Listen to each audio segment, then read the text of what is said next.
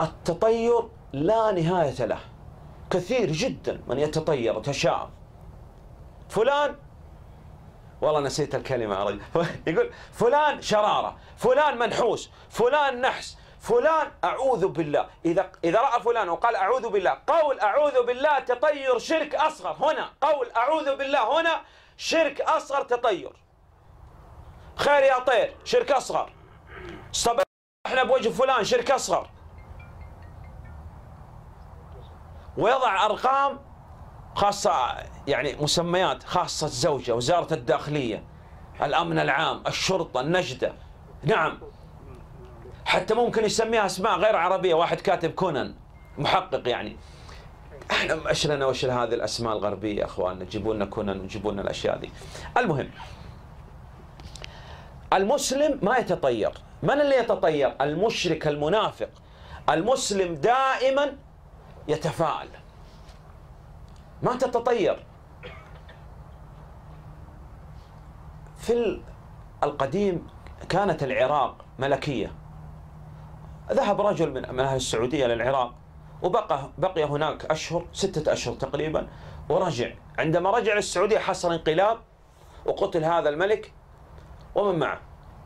فقال عندنا أحد الأمراء لهذا الرجل قال أنت شؤم على العراق.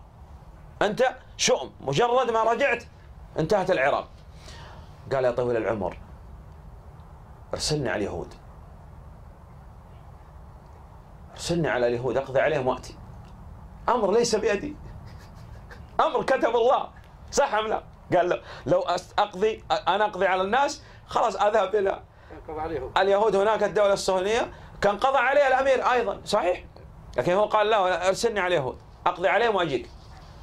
لا تحتاج إلى دبابات ولا صواريخ ولا شيء. أمر بيد الله.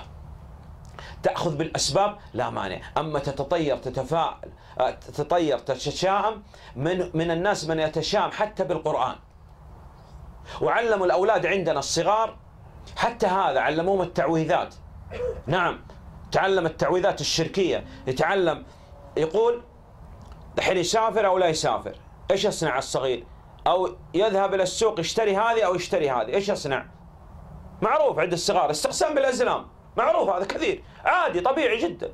شرك هذا. استقسام بالأزلام. يقول عندنا حتى عندكم. حادي بادي كرنب زبادي شالوا وحطوا كله في هذه. صح؟